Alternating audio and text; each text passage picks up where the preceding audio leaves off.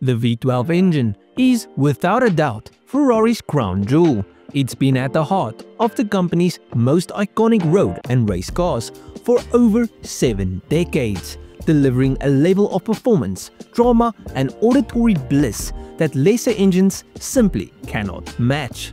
But the world is changing and even Ferrari can't ignore the fact that large displacement, naturally aspirated engines are under attack from emission regulations, efficiency mandates and hybrid powertrains. So, what does Ferrari do? Do they cave and swap their beloved V12 for a soulless turbocharged V8? Do they ditch internal combustion altogether and go fully electric? No, of course not. Instead, they come up with something utterly mad, a V12 engine with oval-shaped pistons. Yes, Ferrari, one of the most traditional manufacturers in the world has just thrown conventional piston design out of the window in a move that could change how we think about internal combustion engines entirely. You see, traditionally, pistons are round. That's because they sit in round cylinders, and this shape ensures uniform combustion pressure distribution, smooth piston movement, and easy manufacturing. But round pistons also take up space, particularly in long engines like a V12, where bore spacing, the distance between the center of each cylinder dictates overall engine length. Ferrari's new engine patent, discovered recently, this patent details a pull-shaped piston design, a move that is as daring as it is unconventional. By reshaping the pistons, Ferrari can pack them closer together, allowing the engine to be significantly shorter than a traditional V12, while maintaining the same displacement. The result, a V12 that is more compact, more space efficient, and potentially lighter all without losing the glorious high-revving character that defines Ferrari's most famous engines.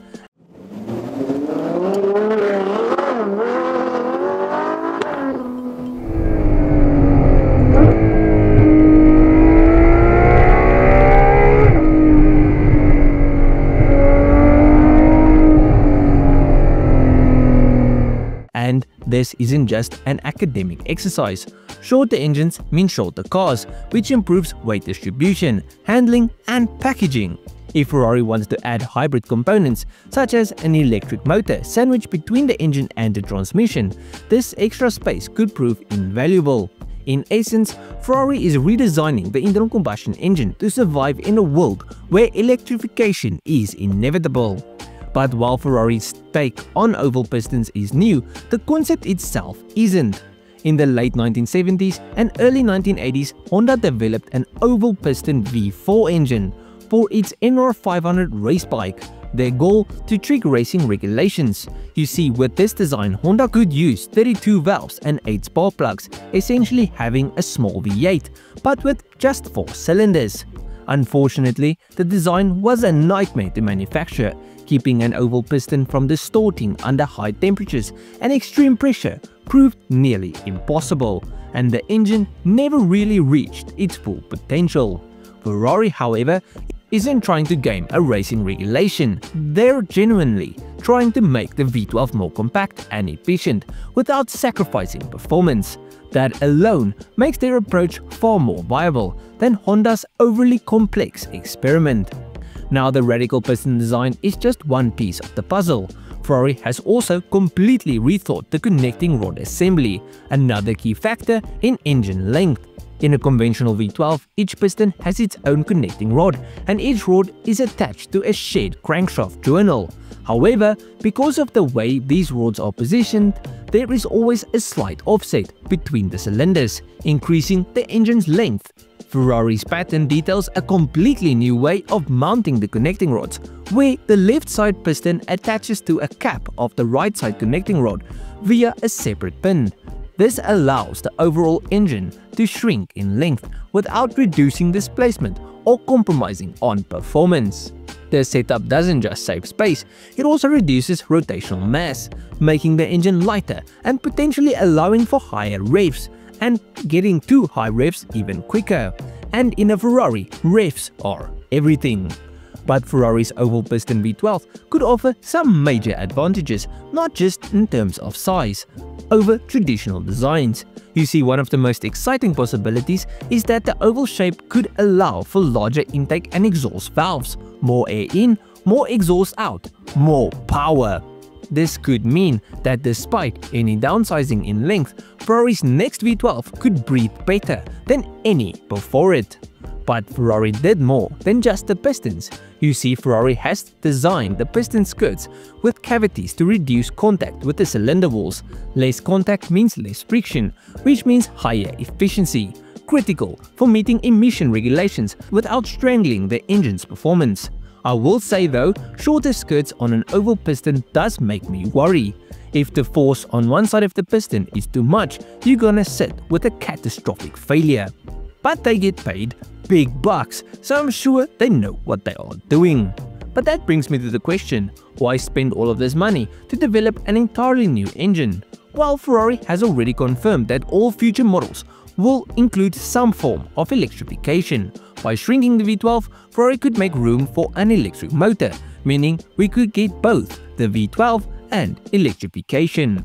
And me personally, I don't have a problem with hybrids, as long as I can still get the sound and character of a real genuine engine.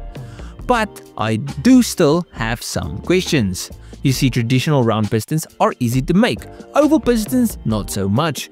The asymmetrical forces acting on the piston could make wear and tear unpredictable, requiring Ferrari to use extremely advanced materials and machining techniques.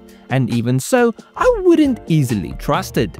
Secondly, because an oval piston doesn't expand evenly like a round one, cylinder wear could become an issue.